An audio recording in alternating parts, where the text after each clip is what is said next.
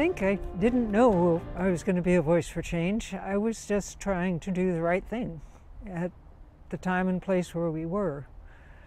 My husband and I had moved to North Carolina from California and most recently from England.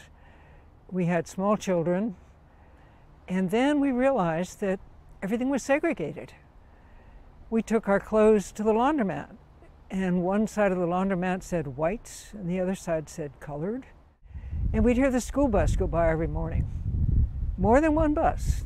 There was one bus going to the black school with picking up the black kids, there was another bus that was picking up the white children in the neighborhood and taking them to the white school.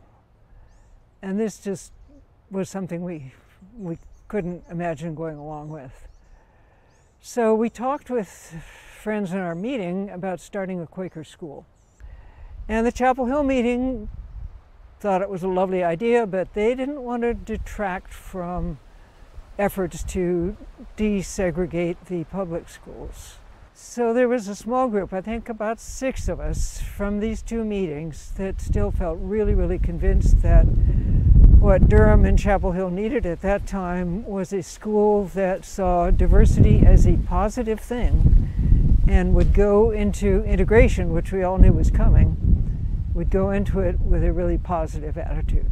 What gives me hope is young people.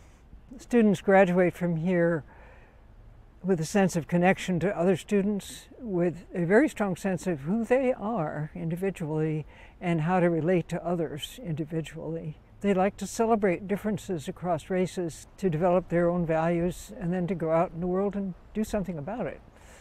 So it's, it's young people that are now, particularly just recently, getting really active that give me great hope.